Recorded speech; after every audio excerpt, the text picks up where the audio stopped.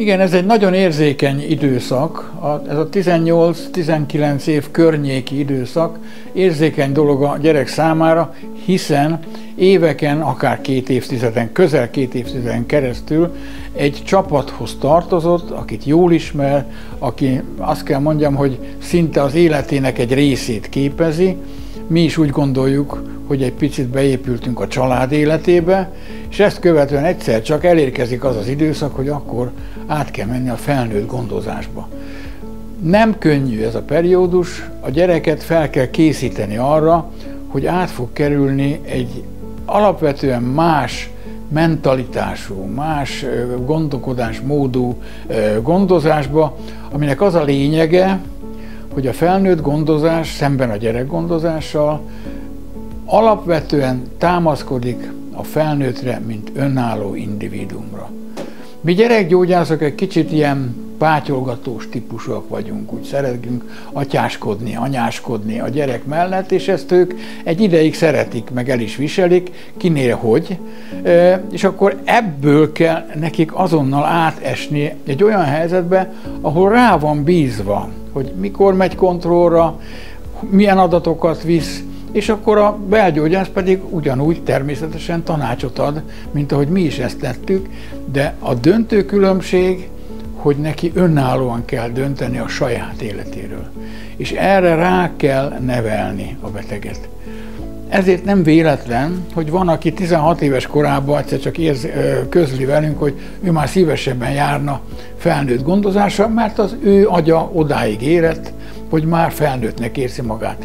A másik 22 éves pedig boldogan jönne még a gyerek gondozásra, hiszen neki ez így megfelel minden szempontból, mi pedig kénytelenek vagyunk 18-19 éves korukba átadni őket a felnőtt gondozásba. Miért így mondom? A 18 éves életkori határ az egy jogi kategória.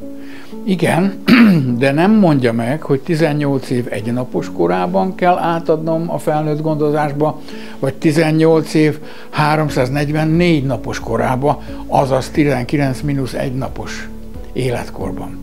Ennek következtében ezt kiki úgy ö, fogja fel, ahogy a vérmérséklete ezt diktálja, illetve ahogy a munkahelye engedélyezi. Van, aki 18-0-kor lehúzza a redőt és menni kell, én a magam részéről nem vagyok ilyen szőrös szívű, hanem amennyiben igényli a beteg, akkor akár 22-23 éves koráig is nyugodtan gondozom, amíg felsőoktatásba jár, és ameddig ennek következtében adminisztratíva olyan problémák merülnek föl, amik jobban igazodnak a gyerekellátáshoz, mint a felnőtt ellátáshoz. Miután az én intézményem engedélyezi, a licenszem pedig a diabetes kezelésére szól és független az életkortól, ezért magam ezt felszoktam vállalni.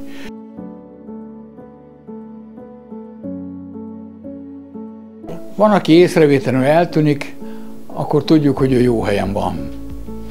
Van, aki azonban két-három hónap után egyszer csak jelentkezik, hogy hát ő neki problémái támadtak a megadott vagy kiválasztott felnőtt ellátó helyen, és hát szeretne visszajönni.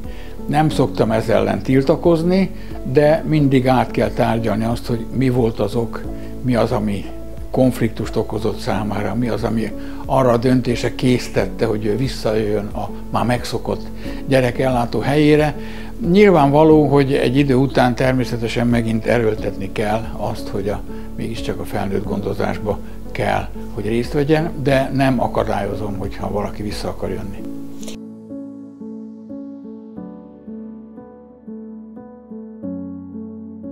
Igen, hát ez, ez egy hosszú folyamat kell, hogy legyen, tehát nem, nem egy hónapon belül közöljük, hogy most menni kell, hanem szép finoman kell rávezetni arra, hogy most már talán mégis önállónak kell lenni. Speciális élethelyzeti problémák jelentkeznek ugyanis.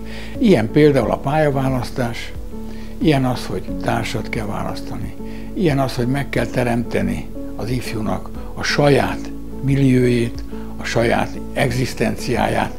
Ezek nem tartoznak a diabétesz szoros kezeléséhez, azonban a beteg egészét tekintve nagyon komoly részét képezik az ő életüknek, és ebben kell őket segíteni.